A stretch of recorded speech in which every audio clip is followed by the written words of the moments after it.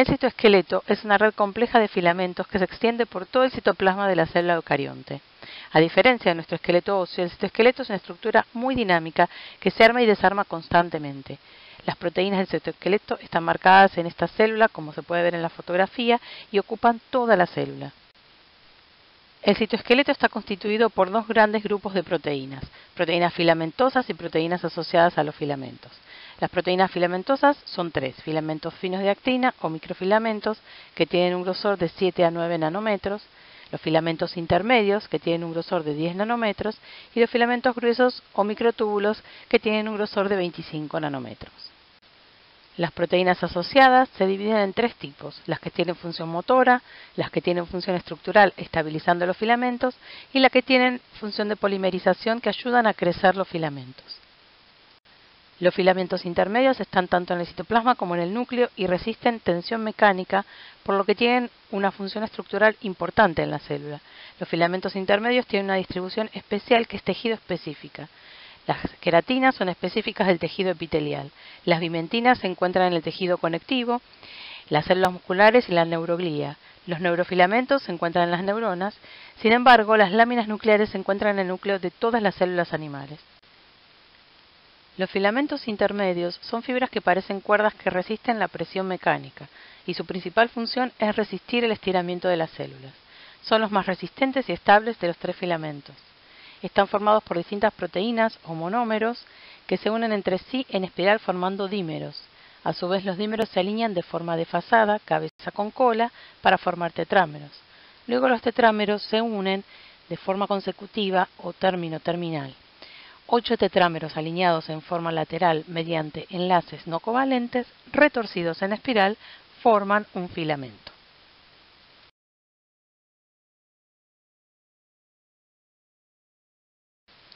Los distintos monómeros que forman los filamentos intermedios se dividen en cuatro grupos. Las queratinas, las bimentinas, las proteínas relacionadas con las bimentinas, los neurofilamentos y las láminas nucleares. Si bien son proteínas distintas que se diferencian por el monómero que las forma, son similares y forman filamentos del mismo diámetro con una estructura similar. Lo que más varía son los grupos amino y carboxiterminales. Dentro de cada grupo hay variantes de los monómeros. Los monómeros más diversos son los de las queratinas, hay de tipo ácidas, básicas y de hecho cada epitelio tiene una combinación particular de queratinas. Suelen asociarse dos monómeros distintos formando heterodímeros. Dentro del grupo de las bimentinas encontramos bimentina en el tejido conectivo, desmina en las células musculares y la proteína fibrilar glial ácida en los astrocitos. Hay tres tipos de láminas nucleares y tres de neurofilamentos. Los filamentos de queratina se extienden de un lado a otro de la célula epitelial e intervienen en las uniones célula-célula del epitelio o desmosomas, así como las uniones célula-matriz llamadas hemidesmosomas. En los desmosomas, las queratinas se unen a una placa de proteínas de anclaje que a su vez se unen a proteínas integrales de membrana de la familia de las caderinas. Las caderinas de una célula se unen con las caderinas de la célula contigua formando los desmosomas. En el hemidesmosoma, las queratinas también se unen a una placa de proteínas de anclaje pero esta placa se une a otras proteínas integrales de membrana, las integrinas, que se unen a la laminina que se encuentra en la matriz extracelular epitelial.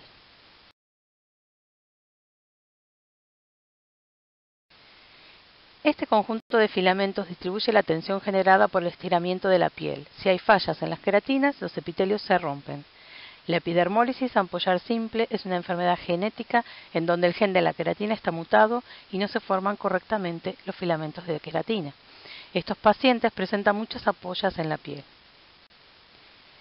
Los neurofilamentos se encuentran en las neuronas y forman el esqueleto del axón, la prolongación más larga de estas células, cuya estructura se ve en esta fotografía de microscopio electrónico. En este corte transversal del axón se observan gran cantidad de neurofilamentos y algunos microtúbulos. La plectina es una proteína asociada a los filamentos intermedios que los estabiliza y refuerza mediante uniones cruzadas.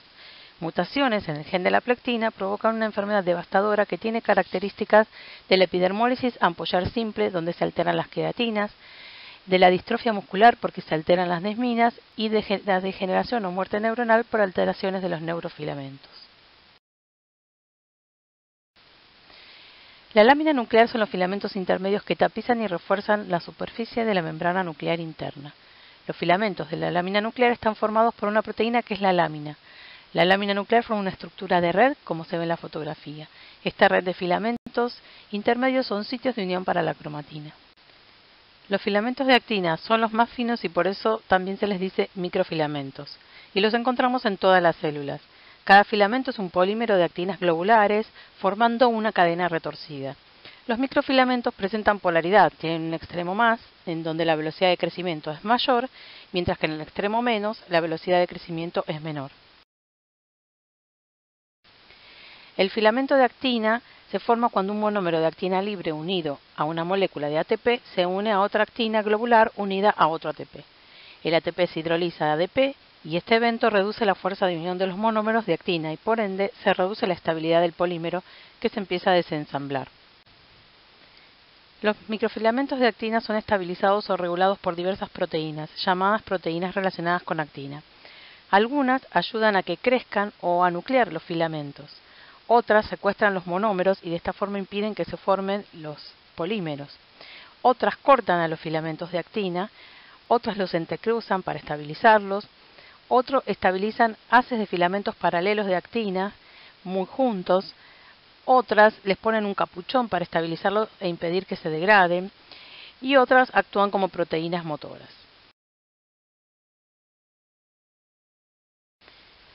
Por ejemplo, vamos a ver dos estructuras formadas por haces paralelos de actina. En las células musculares, los filamentos de actina se disponen de forma más separadas, de forma paralela, y están estabilizados por la alfa-actinina.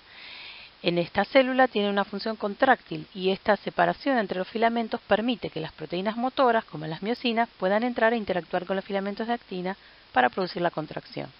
En cambio, las microvellosidades, que son muy abundantes en las células epiteliales, están estabilizados los filamentos de actinas por la proteína fimbrina.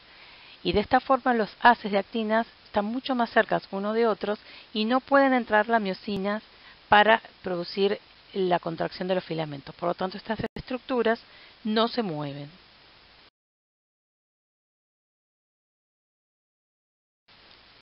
La filamina es una proteína asociada a la actina que estabiliza uniones cruzadas, permitiendo formar una red de filamentos de actina que se observa en la corteza celular. Los filamentos de actina intervienen en numerosas funciones. Determinan la forma celular, contribuyen a la fijación espacial de proteínas de membrana, participan de uniones célula-célula y célula matriz, brinda estructura a prolongaciones de membrana, como las microvellosidades que ya vimos, interviene en diversas formas de desplazamiento celular, es esencial para la organogénesis, la contracción muscular y la citocinesis, y también sostiene mecanismos de transporte citoplasmáticos de vesículas. Debajo de la membrana plasmática hay una red de filamentos de actina estabilizados por la filamina, como ya vimos, que se denomina corteza celular y esto es muy importante porque ayuda a dar forma a la célula. La actina participa en uniones célula-célula y célula matriz, lo que contribuye a la fijación espacial de proteínas de membrana en células epiteliales. Las uniones célula-célula, formadas por filamentos de actina, forman el cinturón adhesivo en las células epiteliales. Las uniones adherentes están formadas por filamentos de actina que se unen a varias cateninas, que a su vez se unen a proteínas transmembrana llamadas caderinas. La parte extracelular de las caderinas de una célula se une a la parte extracelular de las caderinas de la célula vecina. Los filamentos de actina pueden formar uniones entre la célula y la matriz extracelular llamados contactos focales. En los contactos focales, un filamento estabilizado por una proteína capuchón se une a varias proteínas que interactúan con una proteína integral de membrana llamada integrina. Las integrinas a su vez se unen a la fibronectina que se encuentra en la matriz extracelular. La actina también brinda estructura especializaciones de membrana. El epitelio del intestino delgado posee microvellosidades que aumentan la superficie de absorción. Las microvellosidades poseen microfilamentos de actinas muy juntos, como ya vimos, y están estabilizados por proteínas bilinas y fimbrinas. Los microfilamentos se pueden ensamblar para permitir el desplazamiento de la célula. La célula forma filopodios que son prolongaciones delgadas y rígidas con filamentos de actina ordenados en forma paralela. También forman lamelipodios que son extensiones delgadas con microfilamentos más desordenados. La célula utiliza estas prolongaciones para desplazarse. En el amelipodio se polimerizan los filamentos de actina en el extremo más y esto extiende ese lamelipodio hacia adelante, que luego forma un contacto focal con la matriz extracelular y la actina que está dentro de la célula con ayuda de la miocina 2 se contrae para mover la célula y desplazarla hacia adelante. Así la célula se mueve. Para contraerse los filamentos de actina necesitan proteínas motoras. Las miocinas son proteínas motoras que ayudan en todas las funciones donde hay movimientos de la actina. Hay varias clases de miocinas que se unen a los filamentos de actina y desplazan sus cabezas globulares por el mismo. La miocina 1, que puede desplazar un microfilamento con respecto al otro. La miocina 1 también transporta vesículas por los microfilamentos.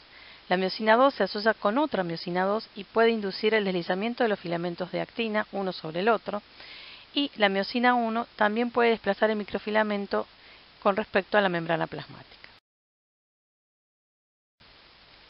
La miocina 2 puede formar dímeros. Estos dímeros, muchos, se unen entre sí para formar un filamento grueso.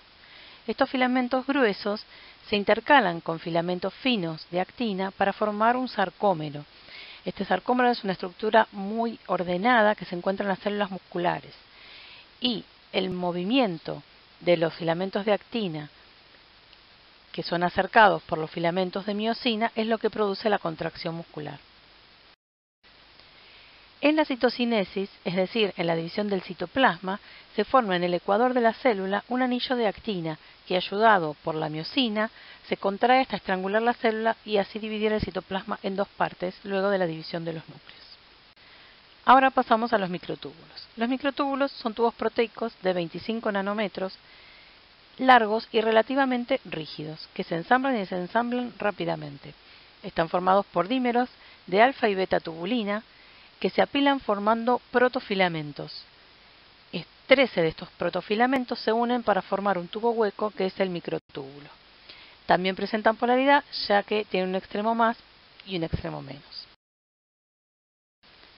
La unión de los dímeros entre sí está controlada por el GTP.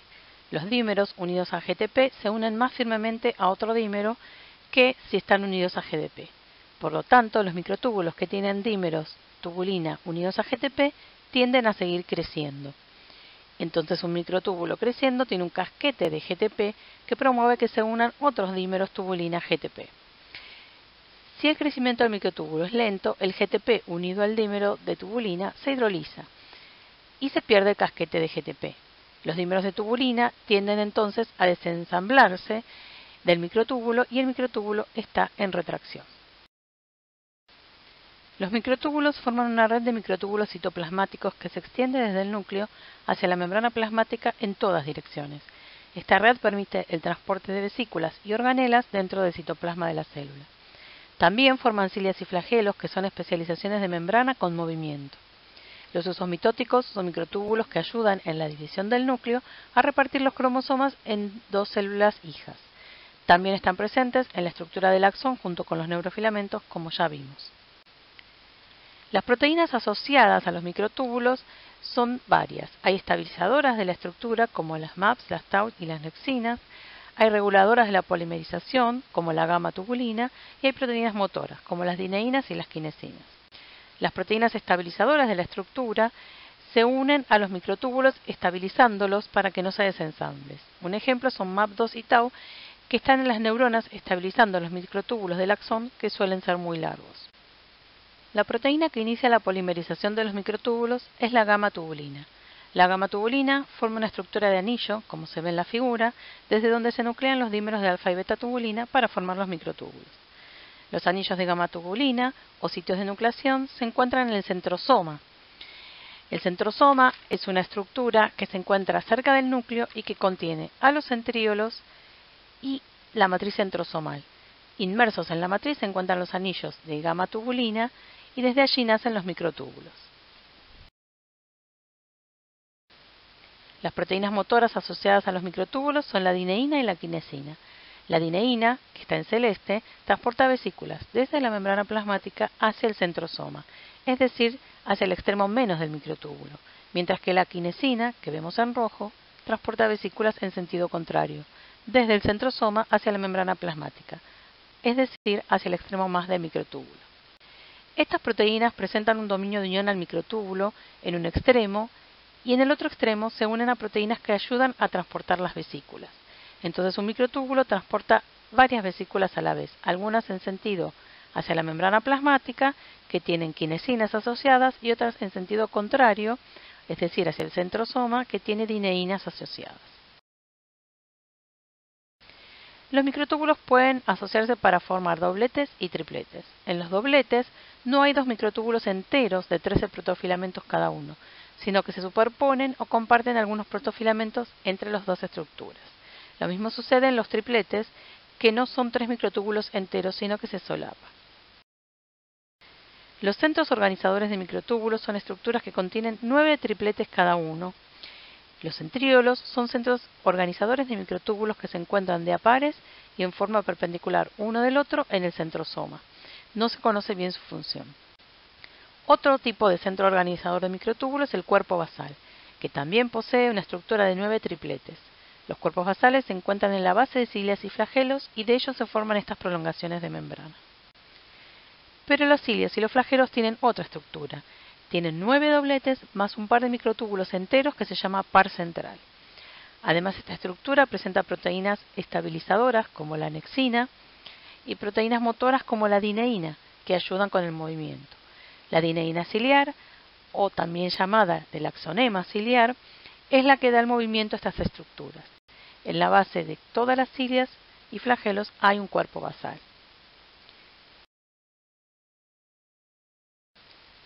Por último, tenemos los usos mitóticos, que son microtúbulos iguales a los citoplasmáticos, pero que se forman durante la división celular para ayudar a repartir el material genético entre las células hijas. Hay tres tipos de microtúbulos. Los microtúbulos astrales, que se encuentran en el polo de la célula, los cinetocóricos, que enganchan a los cromosomas para luego después separarlos, y los polares, que se solapan entre sí para ayudar a separar las cromátidas hermanas.